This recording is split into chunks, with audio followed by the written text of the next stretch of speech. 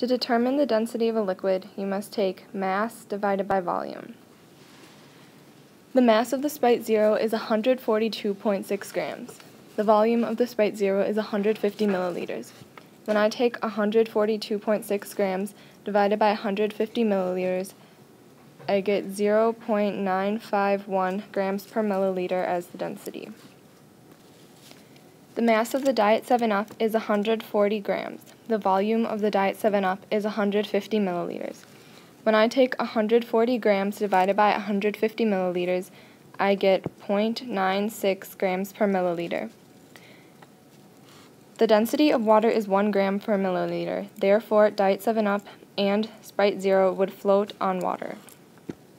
When comparing the density of, this, of Sprite Zero to the density of Diet 7-Up, the density of the Sprite Zero is 0.951 grams per milliliter, and the density of Diet 7-Up is 0.96 grams per milliliter.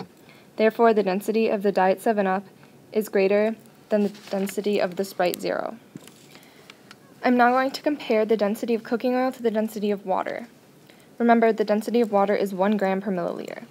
The mass of cooking oil is 132.5 grams. The volume of the cooking oil is 150 milliliters.